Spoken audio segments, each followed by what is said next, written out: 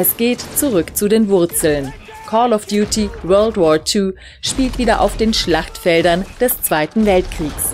Das Spiel legt deshalb wieder mehr Wert auf eine packend inszenierte Story. Einen Hauch von Kriegskritik gibt es allerdings auch. 14 Jahre nach der Veröffentlichung des ersten Call of Duty wird jetzt die Geschichte vom braven US-Soldaten Ronald Red Daniels erzählt. Er bringt genau die richtige Menge Gutmenschen-Gen mit ins Spiel, um den Ego-Shooter behutsam moralisch aufzuladen. Anfangs will man es den Krautfressern noch so richtig zeigen, aber nach der Landung am Omaha Beach wird die anfangs gut gelaunte Truppe ziemlich kleinlaut. Auch danach bemüht sich das neue Call of Duty immer wieder um eine kritische Note. Man lässt den Spieler sogar kurzzeitig in die Schuhe einer französischen Untergrundkämpferin schlüpfen.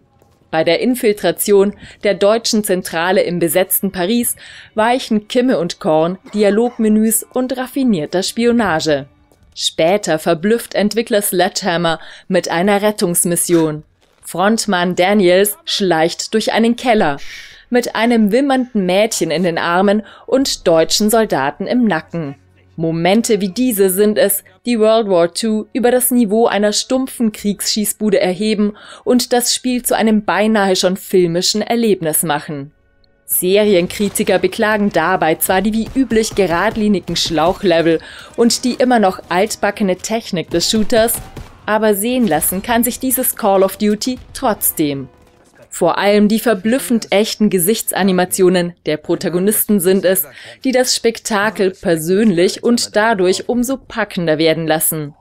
Als Dreingabe gibt es wie gewohnt einen Zombie-Modus, in dem diesmal vergammelte Nazis den Untotenschädel hinhalten müssen.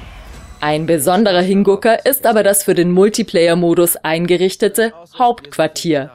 Das am Omaha Beach eingerichtete Camp fungiert als eine Art innovativer Mehrspielerlobby, in der sich Gamer austauschen und bei kleinen Spielchen lästige Wartezeiten überbrücken können.